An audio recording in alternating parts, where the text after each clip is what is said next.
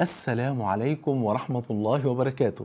بسم الله والحمد لله والصلاة والسلام على حبيبنا وأسوتنا وقدوتنا وشفاعنا رسول الله صلى الله عليه وآله وسلم. الحديث الذي رواه البخاري ومسلم عن أبي هريرة رضي الله عنه وارضاه أن النبي صلى الله عليه وسلم قال لبلال رضي الله عنه يا بلال حدثني بأرجى عمل عملته في الإسلام.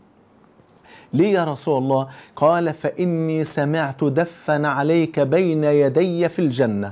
الله أكبر. النبي صلى الله عليه وسلم بيقول لسيدنا بلال بيقول له يا بلال قل لي أنت بتعمل إيه؟ إيه أفضل عمل عملته في الإسلام؟ ليه يا رسول الله؟ قال له لأني سمعت دفا عليك يعني تحريكا عليك وأنت تمشي بين يدي يعني أمامي في الجنة. طبعا كلمة أمامي في الجنة ديت مش معناها إن سيدنا بلال كان يعني سبق النبي صلى الله عليه وسلم في الجنة. لا مش مقصود كده. أنت تعلم أن الملوك والأمراء دائما يكون الحاشية يمشون أمامهم. فهو كفرد من أفراد الحاشية الذين يمشون أمام النبي صلى الله عليه وسلم في الجنة.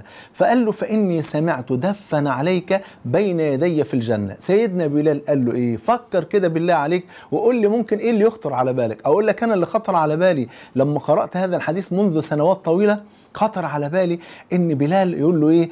أرجى عمل عندي في الإسلام يا رسول الله الجهاد في سبيل الله. ده أنا جاهدت معاك يا رسول الله وخدت معاك الغزوات. أو مثلا يقول له قيام الليل أو مثلا يقول له آه مثلا إن أنا أول مؤذن في الإسلام إلى غير ذلك وأعمال سيدنا بلال كثيرة. لكن قال له حاجة تانية ما خطرتش على بالنا. قال له يا رسول الله ما عملت عملا أرجى عندي من أني لم أتطهر طهورا في ساعة من ليل أو نهار إلا صليت بذلك الطهور ما كتب لي أن أصلي. الله أكبر. كل لما بيتوضأ حبايبي بيصلي ركعتين. كتيرة ديت أمر بسيط جدا أهو. تخيلوا بالركعتين اللي كان بيصليهم بعد الوضوء وكان دائما على وضوء. وطبعا يعني يعني الوضوء يعني يعني الطهور شطر الإيمان. شوف قد إيه؟ فالنبي عليه الصلاة والسلام يعني شوف لما سأله قال له إيه؟ قال له أنا كل لما بتوضأ بصلي ركعتين أو أصلي ما قدر لي. إن أنا مثلا أصلي ركعتين أربعة حسب الطاقة وحسب الوقت بفضل الله لا يكلف الله نفسا إلا وسعها.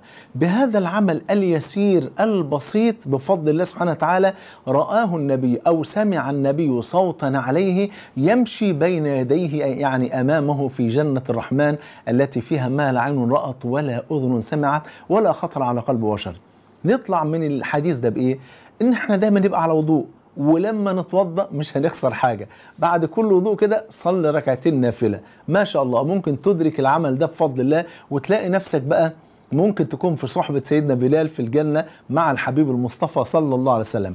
في الحديث الذي رواه مسلم أيضا أن النبي صلى الله عليه وسلم قال ما من مسلم أي مسلم ما من مسلم يتوضأ فيحسن وضوءه ثم يقوم فيصلي ركعتين يقبل عليهما بقلبه ووجهه إلا وجبت له الجنة. الله أكبر. تخيلوا حضراتكم في ركعتين ممكن ربنا سبحانه وتعالى يكتبكم من أهل الجنة. تتوضأ فتحسن الوضوء. مش بقى تتوضأ وتسيب حتة وتتوضى بحته وما تاخدش بالك من من الأعقاب في رجليك واللي أنت مش واخد بالك من الوضوء وإن أنت لا تخلل بين الأصابع لا توضأ فتحسن الوضوء.